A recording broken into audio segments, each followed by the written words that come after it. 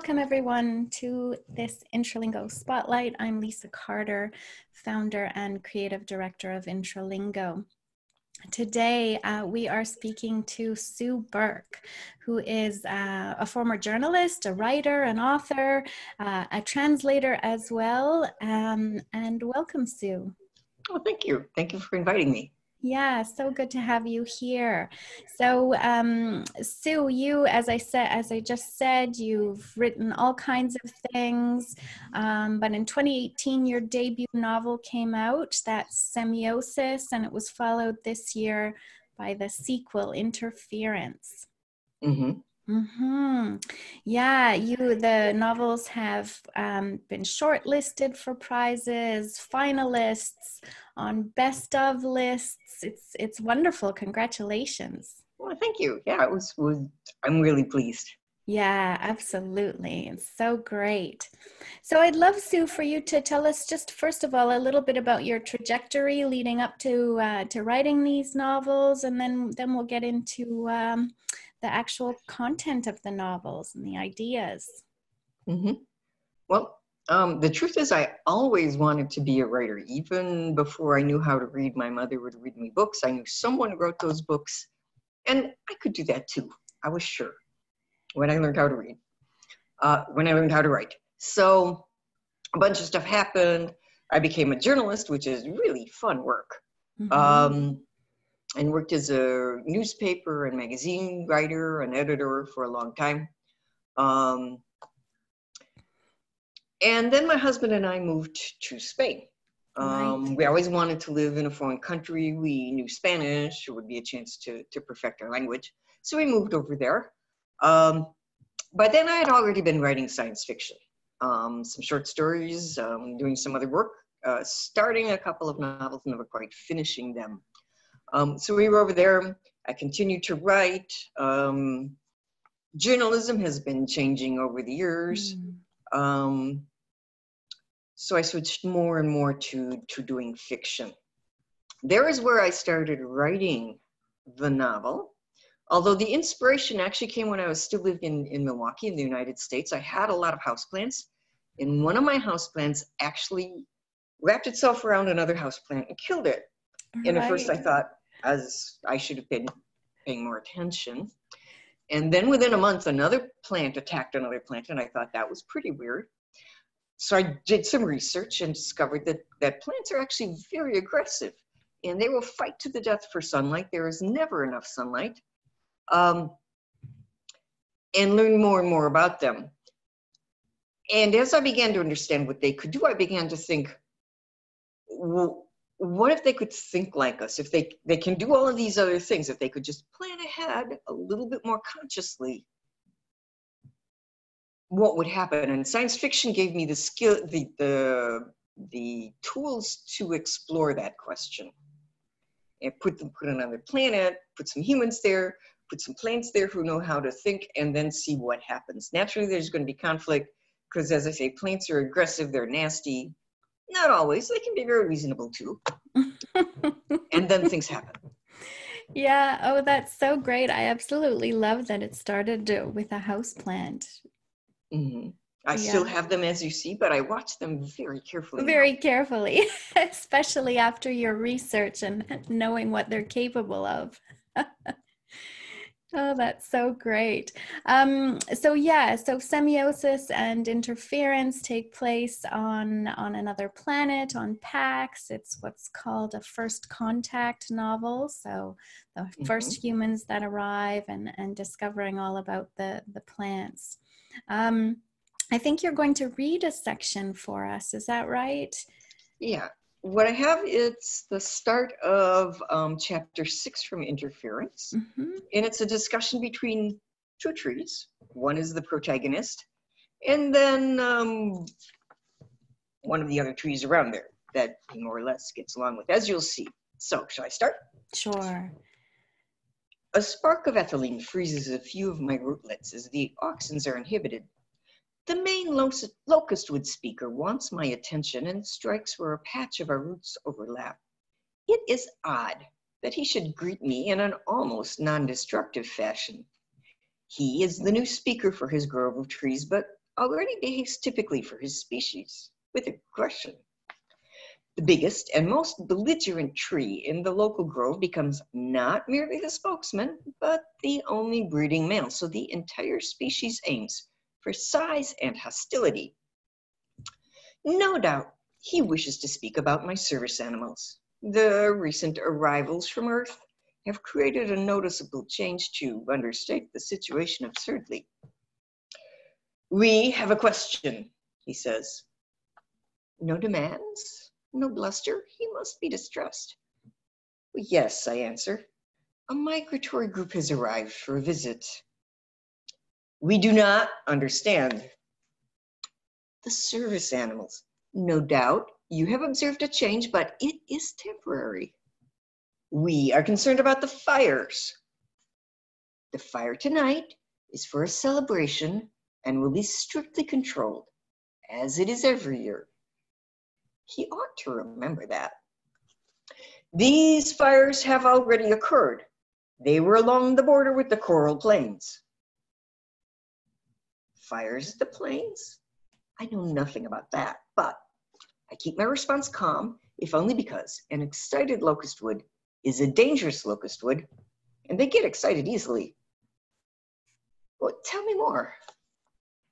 Our southern groves saw small fires the past two nights. They started in the coral plains and did not spread to our forest, but five fires are too many. Our other groves can show you where. Your service animals must investigate. Oh, they will do so, and thank you for the notice. Five. Fire is our greatest danger, although locust woods tend to overreact. Swamp fires are not forest fires. Methane is the likely cause since it can ignite spontaneously and at low temperature and thus harmlessly. But if that is what is if that is what has happened, and yet such furs are uncommon, five may be far too many. But about your animals. We have heard of odd movements and some strange members. They can fly, for example, and they are not bats or cactuses. Oh, the visitors will eventually fly away and the city will remain the same. And we wish to have the trunk of the previous speaker harvested. I did not expect that. When the old speaker died, his death hastened by his rival's quest to achieve speakerhood, we had agreed to leave the dead tree stand in honor of his service. Uh, why do you wish it removed? It lies in the way of new growth. Have your animals cut it down promptly. They will appreciate the wood. Perhaps for the speaker, it is a reminder of his dishonorable deeds to displace the incumbent. Or the dead tree may genuinely be in the way of new growth new female tree, trees for the speaker to add to his grove. Uh, but in any case, the wood has a remarkable pattern called checkerboard by the humans and plaid by the gra. So it can be used for items of beautiful utility and decoration. So this is good news for the city. I must not sound too agreeable, however, or the locust wood might interpret that as weakness. I shall order it done. And we must set the quota for this year's harvest. Perhaps, given your success, it can be expanded. Your wood is very useful. Provided it is only used for durable purposes, we do not wish to be burned any more than you do. Oh, we will discuss this further. In the summer, meanwhile, keep the fires tonight under control. Oh, we have sufficient experience and keep your animals under control. Of course I will. I also have long experience with this species. My deepest roots remind me that I have not always had successful experience with these species, both with individuals and with groups. Now, while I have extended my understanding in many ways over the years, this wisdom does not always serve in new situations, and every day is a new day with new problems. That is so fantastic. Yes. So the voices there, of course, were Stevland, who is a plant, a bamboo plant, and the locust wood. And you know what fascinates me so much about what you've been able to do here, Sue, is, is take your knowledge of communication, of language, the way that it works, and transfer that, well, to what we would consider an inanimate species, number one, to plants, mm-hmm. um, but also an alien and foreign species and i know you've mentioned this to me as well how how difficult that was to put yourself as a writer to um, portray or from the point of view of of an alien can you tell us a little more about that uh, yeah my my frustration was that as someone who as a translator um, mm-hmm. um, i know another language i'm learning a third language in fact and I know how different languages are. So I know if these two were actually talking to each other, it would be incomprehensible to human beings. So I had to think of a way of them. And there's some other species in, in the book, and they have to communicate with each other too, in one way or another. And how could I make it understandable to the reader um, and still try to make it a little bit foreign, a little bit alien? Mm-hmm. Um, I'm not really satisfied with what I did. Oh, I did the best I could. Um, I mean, it's like a, a, translation. I'm never really satisfied with what I translate. I get it close, but there's always a little bit of something that's different. Yeah. Um, so I had to work with that.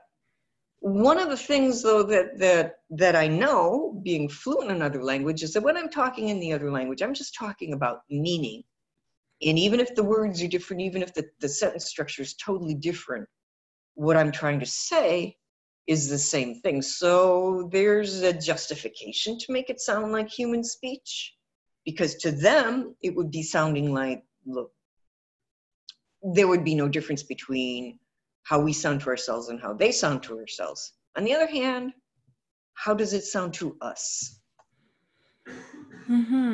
And yet, at the same time, as you say, it, it has to be readable for us because what mm-hmm. we are concerned about is not the language, but the meaning, the story that you're right. telling. So, for us as readers, it's a it's a different experience yet again. Mm-hmm. Mm-hmm. Yeah, and the other um, you mentioned so the other species, the glassmakers, they definitely have a different form of speech, um, which is recognizable on the page and, and when you when you read it. Um, and do you want to tell me a little bit about how you decided to construct that? What what the different element was that would distinguish them? Um, it's based on on um, two things we have here on Earth: on ants, who communicate with scents, um, different smells. Mm-hmm. Um, and they've been broken down um, as to what each smell means and why. Um, and birds, who of course use bird songs. And people who are bird watchers can listen to a bird and tell you that that bird is angry, that bird is warning you, that bird is, is just talking to other birds and saying, Hi, I'm here, everything's fine. Mm-hmm. Um, so birds have a language too that, that we can somewhat understand. Um, so I tried to combine them. And um, in a way, some of it we're going to understand as human beings. We can listen to a whistly sort of a language, and, and once we understand it, the way that we can listen to Japanese, mm-hmm. if we mm-hmm. know the language, we know what those sounds mean. Um, but we're not good at scents, so there would always be something we wouldn't be understanding about them. Their grammar, too, is just going to be different because grammar is always different. Mm-hmm. Yeah, I thought the the scent language was so inventive, um, and it's, just, uh, it's, it's what ants do. Exactly yeah, what ants do it is but but how you assigned um you know a recognizable sense for us you know i, I think it was i can't remember actually if it's mm-hmm. strawberries make mean happiness or something like that but that that mm-hmm. pairing was was wonderful yeah, the other part I've found, of course, and it's all interrelated because language is culture, and uh, you know, culture is uh, or expressed one way through language, and this is a first contact. um, uh, story. Um, but there's so much more too there in terms of culture. It's it's trying to understand the new culture, uh, obviously communicate with it. But what I found particularly interesting in interference um, is also this notion of perspective and how what we see we interpret in a certain way based on our own um, worldview. Um, yeah, I just love for you to to tell us a bit more about this notion of culture and what you were attempting to do here as well. Yeah, um, what I wanted to show, and, and this won't be news to people who perhaps have traveled or, or lived in another culture, is that um, what you notice isn't what other people notice, and what they do, even if it looks familiar to you, they may be doing for an entirely different purpose. Mm-hmm. And so that's what I wanted to show is that so you had some humans who came to Earth. There was a, an established human colony there, but it was new to them. Um, there's a whole bunch in their nature the, the, the plants and animals on that planet that the people who live there understand perfectly well. Um, but to the newcomers, they don't know what's dangerous. They don't know what's not. Um, they don't know what's normal and what's not. Um, and so they had a period of intense learning. Um, and I wanted to show that and to show um, also both sides lie to each other a lot. Mm. they don't want each other to know what they're actually doing and for good reason. Um, and how they would go about that what that would look like to each other. Um, there's also a chapter from the point of view of one of the glassmakers who are totally alien to us. And this particular one's her problem is not a problem that might be familiar to us and her solution is is again something that wouldn't necessarily occur to us hmm. yeah yeah and i think also just the way you've structured the novel as you said each chapter is from a different point of view so we really mm-hmm. get a, a very um, a very broad and encompassing view of, of this world from all these different perspectives mm-hmm. that was a lot of fun too yeah, yeah, it must have been changing changing voice every chapter. That's mm-hmm. fantastic. That's great. Well, I would um, love to know, just to wrap up here, Sue, what you hope readers will take away from from your duology. Um, what I was, what I hope is that they're afraid of their own gardens now.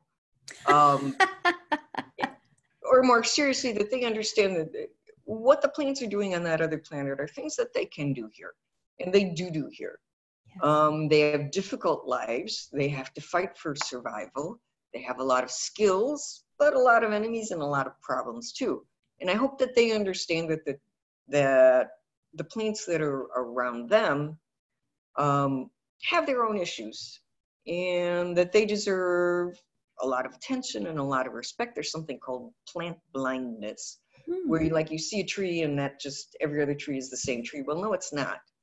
Um, so that they begin to see the individuals that are around them and understand that that their lives are are um, difficult for them, but important for them too, because this is our environment. If all the plants died, we're dead too. Yeah. And as a translator, I want to say this has been my book has been translated. Semiosis. I have Japanese. Oh, fantastic! I know you you have it in French as well. Is that right? I have French. That's fantastic. I love the artwork on that. I even um, was contacted by the French translator who had a couple of questions that I could understand because she needed to know, for example, are all of these these people that you named are they all female or male? Because she can't tell, but French is you have to say that. Yes. Um, so I understood that question. There's a bird called a boxer, and she wanted to know why is that boxer? Because it could be a box like he lives in a box. Mm. Could be a hmm. box. He's a fighter. So I'd explain, yes, this is a box who who fights. So that's why he's called that. Oh, that must have been so fun for you to receive those questions and see your your book in a new light through that that mm-hmm. other language lens. Mm-hmm. Yeah. Great. And what's next for you, Sue? I'm working on another novel, totally unrelated to this, and I'm mm-hmm. now on the seventh rewrite. Okay. As a translator, I, I believe it's much easier to translate a book than to write a novel. Oh gosh, yeah. Um, so I'm I'm working on that, um, and then just continuing to write all the time. I've been contacted with a. I, I used to live in Spain. I'm now in Chicago. Mm-hmm. and been contacted by some people in in Spain who are having a project to translate some short stories into English, and I'll be working with that as well. So Excellent. I'll still be translating. Fantastic. Translating is fun. It is. It is great work. Oh, I love it so much. Well, I really, really enjoyed reading both semiosis and interference. Um, it was fascinating to me to to see this notion of communication and language and culture, and knowing that you're a translator and how you infused the book with that really made it rich for me, absolutely as a reader. Mm-hmm. So thank you for it. Um, I will be sure to include absolutely your bio will be in the show notes below this video as well as links so uh, readers can find you online uh, and of course a link um, to where your books uh, can be found so that uh, everyone watching and listening can can get a copy and read it. Well, thank you. Yeah, that's been really great to talk to you. Um, thank you so much, everyone, for watching. Uh, if you enjoyed this spotlight video, I would encourage you to please subscribe to the Intralingo channel, uh, to like this video, to comment on it, to share it. And uh, let's continue to explore uh, the world through books. Thanks very much, Sue. Thank you. Bye. Bye bye.